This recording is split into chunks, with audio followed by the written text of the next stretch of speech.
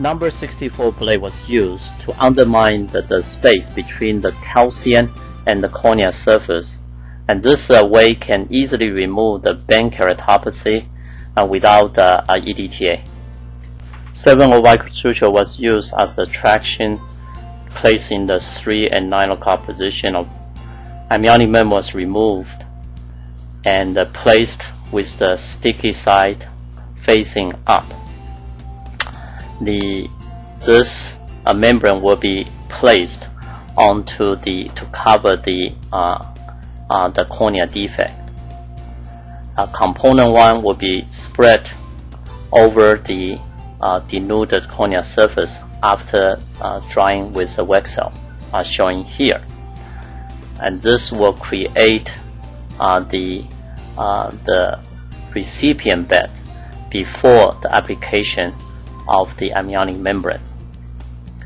Again, the component 2 will be used to drip onto the sticky surface of the amniotic membrane.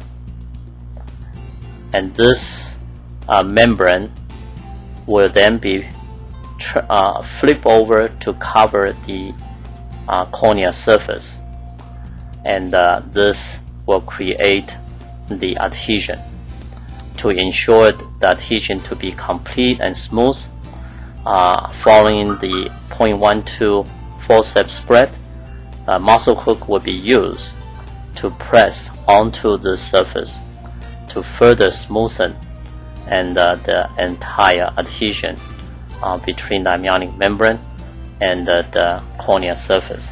And this same procedure can be uh, used not only for band keratopathy but also for any kind of lamellar keratoplasty.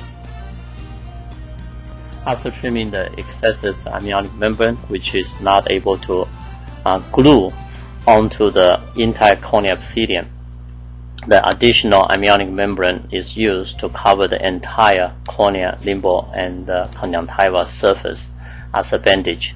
This membrane is uh, sutured onto the uh, sclera with 10 nylon suture in a purse string running fashion, a total of about 6 to 8 bites. Uh, frequently occur in this band keratopathy as shown in this case before surgery. After the surgery, the healing complete very quickly, resulting in a healthy and uh, intact uh, cornea surface after the bandage membrane is uh, was removed.